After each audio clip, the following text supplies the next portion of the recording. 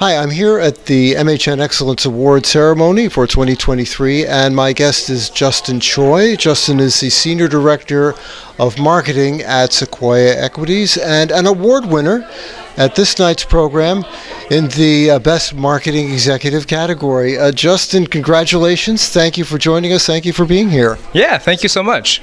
Could you tell our audience a little bit, anyone who may not be familiar with uh, your shop, a little bit about Sequoia Equities and, and what you do? Yeah, absolutely. So we are um, an apartment management company based out of the West Coast. Uh, currently, we have roughly 18,000 units under management um, and looking to grow it as well. What, what is your geographic scope? You mentioned West Coast. Yep. Currently, we're in California, Nevada, Colorado, Oregon, and Washington. Now, as a, a, marketing executive, what would you say have been the, the most interesting uh, challenges of the, the, past couple of years? I think marketing uh, is very difficult when it comes to creativity. Being someone that comes up with something that's new and never heard of is, is very unique and it's tough. Um, the other part of marketing is the sales aspect, and obviously, with the market softening in the recent years, it's been tough. Could you tell us a little bit about the accomplishments that inspired our judges this year to um, present you with this award?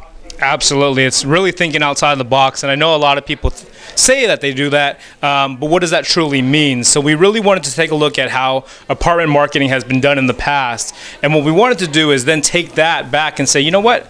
Let's change it up and, and, and how can we do it? So a lot of what we've done is outside the box thinking, but really geared towards driving that traffic and brand awareness. So that was what we focused on this past year. As you um, look ahead to next year, are there any uh, sort of um, uh, uh, tips, uh, recommendations that, that you would encourage your fellow executives to consider as, as they ponder their strategy? Yeah, absolutely.